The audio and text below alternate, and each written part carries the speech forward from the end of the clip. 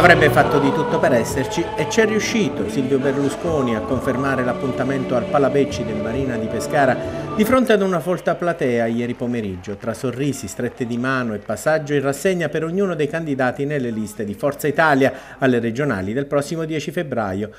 Un improvviso attacco influenzale in mattinata non gli aveva consentito di chiudere la visita come programmato a Teramo, ma è dal palco del padiglione Daniele Becci che l'ex primo ministro ha dato il meglio di sé.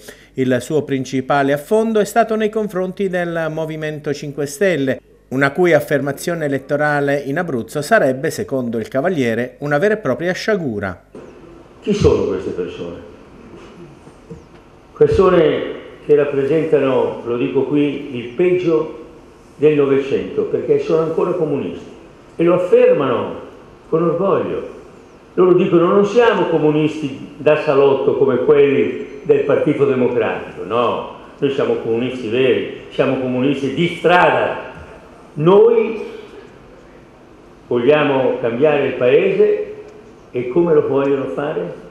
Con tutte le peggiori ricette della sinistra comunista e con in più una spinta forte che tutti loro sentono dell'invidia sociale. Siccome non hanno niente, invidiano coloro che con una vita di sacrificio e di lavoro hanno saputo raggiungere il benessere.